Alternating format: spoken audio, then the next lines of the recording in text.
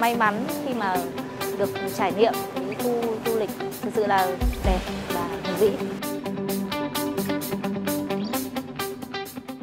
Bạc Liêu từ một cái vùng đất không có tên trên bản đồ du lịch bằng sông Long trở thành một trong những cái điểm đến là mạnh của đồng bằng.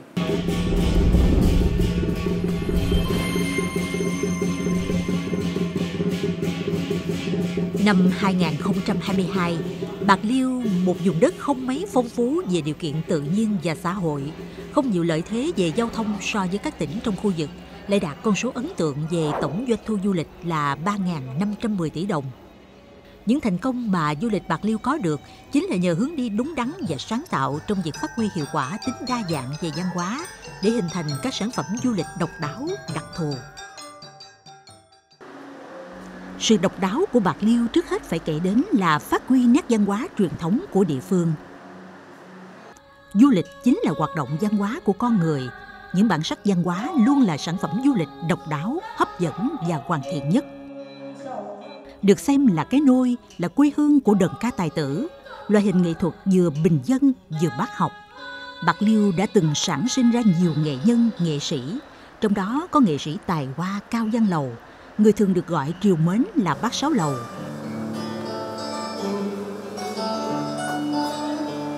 Hơn 100 năm qua, bản dạ cổ Hoài Lan của ông đã trở thành bài ca trụ cột trong nghệ thuật đờn ca tài tử và sân khấu cải lương Nam Bộ. Năm 2013, đờn ca tài tử đã được UNESCO công nhận là di sản văn hóa phi vật thể đại diện của nhân loại. Dấu mốc này như tiếp thêm động lực để Bạc Liêu gắn du lịch với đờn ca tài tử. Tỉnh Bạc Liêu đã xây dựng cái đề án à, bảo tồn, phát huy cái nghệ thuật đờn ca tài tử Nam Bộ. À, trong đó thì chúng tôi tập trung à, phát huy các cái giá trị của loại hình nghệ thuật đặc sắc này để gắn với phát triển du lịch à, và để thu hút à, đông đảo du khách. Chúng tôi à, đang à, xây dựng cái khu lưu niệm nghệ thuật đờn ca tài tử Nam Bộ à, và nhạc sĩ Cao Văn Lầu. À, đây được quỹ Ủy ban dân tỉnh công nhận là sản phẩm du lịch à, ô cốp 4 sao cũng như là được à, Hiệp hội Du lịch Đồng bằng sông Cửu Long công nhận là một trong những điểm du lịch tiêu biểu của khu vực Đồng bằng sông Cửu Long. Những trải nghiệm thú vị là khi đến đây, du khách không chỉ được nghe giới thiệu về lịch sử hình thành của nghệ thuật đờn ca tài tử, cũng như thân thế sự nghiệp của nhạc sĩ Cao Văn Lầu, mà còn được xem các nghệ sĩ, nghệ nhân ngân nga câu hò, điệu hát.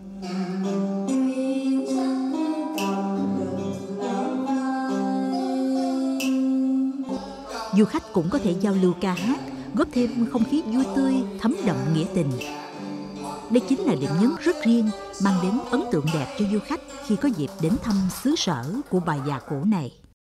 Tôi là một trong những người rất là mê cải lương, rất là ái mộ, rất là thần tượng cái bản à, dạ cổ Hoài Lan. Hồi nãy đến đây có à, nghe và giao lưu với à, các anh chị bên đội đờn ca tài tử thì nói chung là rất là vui nó có một cái ờ, tình cảm, tình yêu gì rất là lớn nói chung là phải dùng hai cái chữ là gia diết. Nó cuốn hút mình cứ muốn trở về với bạc liêu. Chúng tôi sẵn sàng phục vụ cho khách một cách là vui vẻ, tận tình. Khi mà khách xuống tới bạc liêu, ngoài cái ca tài tử ra thì họ còn nhớ tới những cái chuyện mà mình đối xử với khách như thế nào đó thì họ, trong lòng họ không thể nào mà quên được. Đối với mình thì năm sau họ sẽ đến nữa. Gần đây, Bạc Liêu đã tập trung khai thác, phát huy có hiệu quả công năng và các giá trị của nhà hát Cao Văn Lầu như là một sản phẩm du lịch mới. Nó trở thành một trong những sản phẩm du lịch về đêm đặc sắc của Bạc Liêu. Tối thứ Bảy hàng tuần, nhà hát đều xây dựng các kịch bản chương trình sân khấu cải lương phục vụ cho khách du lịch và những người mộ điệu. Nhà hát Cao Giang Lầu vinh dự là một trong số ít những nhà hát luôn sáng đèn ở miền Tây. Gìn giữ và phát huy truyền thống, Bạc Liêu cũng chú trọng phát triển du lịch gắn với những hướng đi đột phá, những thành tựu mới của xứ sở mình trên con đường hội nhập và phát triển mà công trình điện gió Bạc Liêu là minh chứng điển hình. Đây là dự án điện gió đầu tiên ở Việt Nam, được xây dựng từ năm 2010. Những tua bin gió với kích thước lớn xếp thành hàng trên biển đã tạo ra một quang cảnh độc đáo hấp dẫn du khách. Mới đây, Hiệp hội Du lịch Đồng bằng sông Cửu Long đã công nhận khu điện gió Bạc Liêu là điểm du lịch tiêu biểu của vùng. công trình điện gió Bạc Liêu đã mở đầu cho sự phát triển hài hòa và bền vững giữa công nghiệp hiện đại với du lịch, là biểu trưng cho quyết tâm vươn lên của vùng đất giàu tiềm năng biển như đồng bằng sông Cửu Long. Còn khu du lịch điện gió Hòa Bình 1 tuy mới đưa vào khai thác vào cuối năm 2022 nhưng đang thu hút đông đảo du khách đến tham quan nhờ cách thiết kế theo hướng lan tỏa tình yêu với thiên nhiên, môi trường. Đến đây, du khách có thể chiêm ngưỡng vẻ đẹp tuyệt vời của những bãi bồi rộng lớn, các khu rừng ngập mặn, nơi sinh sống của rất nhiều loài sinh vật và quan trọng là được trải nghiệm tuyến cầu dẫn trên biển dài nhất Việt Nam. Tuyến ờ, cầu dẫn này thì có chiều dài là 17 km vượt biển và điểm xa nhất là nằm cách bờ gần 11 km thuộc vùng biển 6 hải lý của biển Bạc Liêu. À, đây cũng là một cái vị trí cũng như là cái rất đặc thù đối với công trình điện gió trên ờ, địa bàn tỉnh Bạc Liêu. Đó là có tuyến cầu dẫn kết nối các tua bin gió và dẫn vào bờ. Chính sự độc đáo khác biệt này mà khu du lịch điện gió Hòa Bình 1 đã tạo được dấu ấn riêng, không trùng lắp với các sản phẩm du lịch của các địa phương khác ở đồng bằng sông Cửu Long. Và đây được xem là một trong những sản phẩm du lịch mới, làm phong phú thêm cho du lịch tỉnh nhà. Khu du lịch Điện Gió Hòa Bình 1 đã nhanh chóng trở thành điểm check-in nổi tiếng với những người đam mê du lịch sinh thái. Thực ra là lúc nhìn từ xa ấy, thì à, thấy là cái quạt gió quay à, khá chậm rồi là trông cái, cái à, trông nó như một cái cối thay gió mà chúng ta hay nhìn ở trong phim ảnh ấy đúng không ạ nhưng mà khi đến nơi thì tôi được uh, giới thiệu ờ, chẳng hạn như cái khối uh, trụ bê tông ra đứng mà lên tận uh, hàng chục nghìn tấn như này ấy, thì quả thật là thấy nó rất là đồ sộ ờ, rất là ấn tượng. Cảm giác rất, rất là tự hào. Thì uh, ở Việt Nam có một cái công trình điện gió mà đặt ở ngoài biển lớn nhất ở Việt Nam.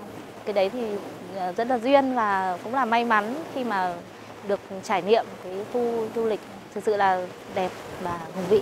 Chắc chắn là tôi sẽ quay lại chỗ này một lần nữa và giới thiệu cho bạn bè của mình nếu có cơ hội đến Bạc Liêu thì hãy đến thăm và trải nghiệm ở khu du lịch này. Nhiều nhà nghiên cứu đã khẳng định du lịch cần mang khuôn mặt của con người. Yếu tố hấp dẫn du khách nhiều nhất không phải là cảnh quan mà chính là những con người. Trên mỗi con đường, ở mỗi điểm dừng chân, câu chuyện về người Bạc Liêu xưa sự hồn hậu của người Bạc Liêu hôm nay luôn để lại ấn tượng đẹp trong lòng du khách. Nằm ngay trung tâm thành phố là khu nhà công tử Bạc Liêu. Đến đây du khách không chỉ có thể tận mắt thấy nơi ăn ở hay nghe những giai thoại thú vị về vị công tử nổi tiếng đào hoa, hiểu thêm về kiến trúc tân cổ điển của Pháp mà còn biết đến một giai thoại phát triển thịnh vượng, một thời kỳ vàng son của xứ Bạc Liêu thuở trước được xây dựng bằng vật liệu đều được đưa từ Pháp sang. Đây là ngôi nhà bề thế nhất ở Nam Kỳ lục tỉnh lúc bấy giờ. Dù được trùng tu làm mới, nhưng cấu trúc bên trong công trình vẫn được giữ nguyên như hiện trạng ban đầu, tạo cho du khách có cảm giác thân quen nhưng đẹp mắt. Đặc biệt, lực lượng nhân sự tại đây đã được huấn luyện và đào tạo rất kỹ lưỡng, chuyên nghiệp mà thân thiện, hào sản như bản tính vốn có của người Bạc Liêu làm dịch vụ chúng ta phải tập trung một con người để mà cung cấp những cái dịch vụ tốt nhất cho du khách. Đây chính là những con người đại diện cho vùng đất Bạc Liêu này để mà chia sẻ cái sự hào sản đến cho bà con mọi miền khi đến đây tham quan. À, ví dụ như là tất, tất cả những sự đây đều phải biết hết về cái câu chuyện của vùng đất này. Biết hết tất cả à, những nơi mà du khách có thể hỏi để mà kịp thời chia sẻ với à, du khách nhân viên phục vụ ân cần lịch sự chu đáo. Ngoài ra, để có thể giữ chân khách lưu trú tham quan, ăn uống khép kín hoàn toàn tại khu nhà công tử Bạc Liêu, ban lãnh đạo khu nhà ở này đang có kế hoạch xây dựng một khách sạn 4 sao cạnh bên với quy mô 100 phòng. Điều này góp phần mang đến sự trải nghiệm, đánh dấu ngày công tử trở lại với du khách gần xa. Bạc Liêu có ba dân tộc cùng sinh sống hòa thuận, gồm Kinh, Hoa, Khmer – và trong quá trình cộng cư đã giao thoa tạo ra những giá trị văn hóa đặc sắc riêng biệt.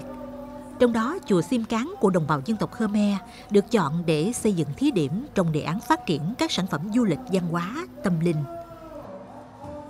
Không chỉ công trình kiến trúc nghệ thuật độc đáo luôn rực rỡ sắc màu trong những mùa lễ hội truyền thống của dân tộc Khmer, Chùa Sim Tráng còn là di tích lịch sử, ghi dấu sự gắn bó của các nhà sư, Phật tử Khmer với bà con dân tộc anh em trong cuộc kháng chiến chống ngoại xâm.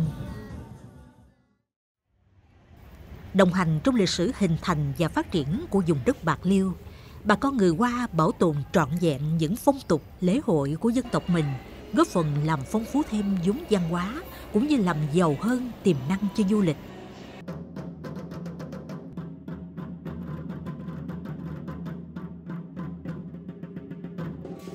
Kiến những lễ hội trang trọng, du khách sẽ hiểu thêm con người Bạc Liêu, thêm trân quý tình đoàn kết, nghĩa thủy chung giữa các dân tộc anh em trong công cuộc khai phá, bảo vệ và phát triển vùng đất này.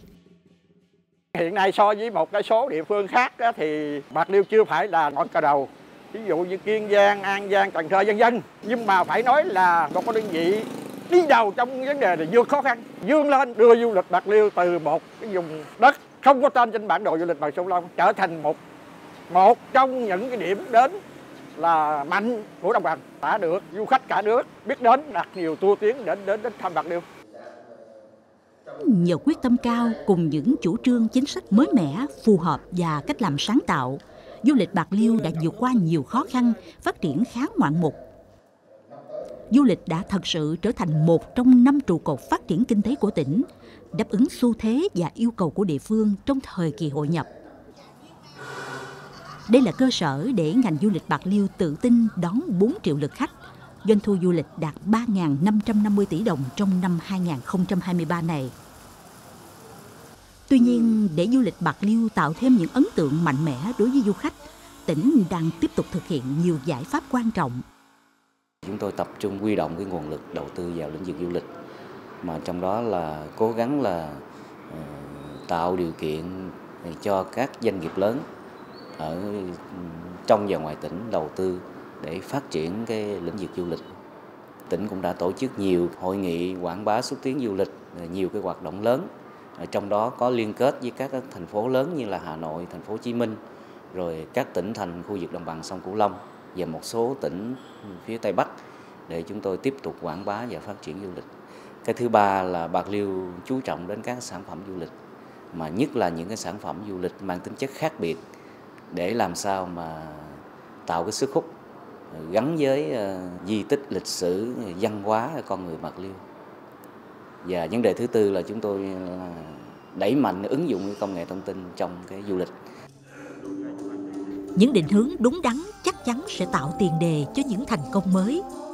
Với người dân hiền hòa, hiếu khách với những giá trị văn hóa đặc trưng, phong phú và độc đáo, bạc liêu đã nhận rõ thế mạnh về du lịch để đầu tư ngày càng xứng đáng hơn với tiềm năng của mình. Và quê hương của bài già cổ Hoài Lan sẽ luôn để lại trong lòng du khách muôn phương những ấn tượng khó có thể nào quên.